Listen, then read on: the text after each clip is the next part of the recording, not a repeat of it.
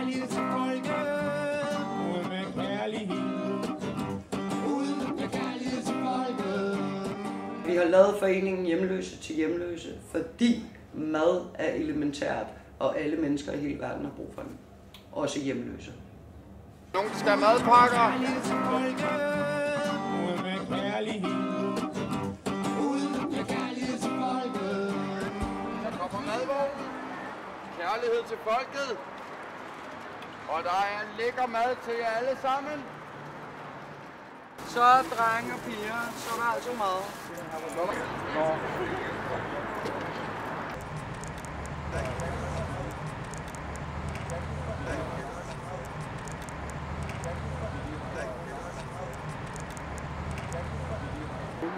Er du glad?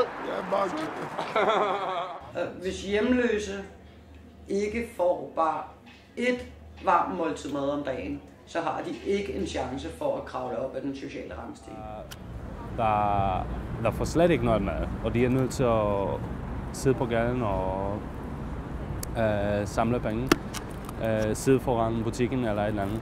Så det gør, at jeg kan undgå data, fordi det er et mere, endnu et mere sted, hvor man kan få øh, gratis mad, uh, som er faktisk, øh, når ikke, ikke alle får mad i Danmark.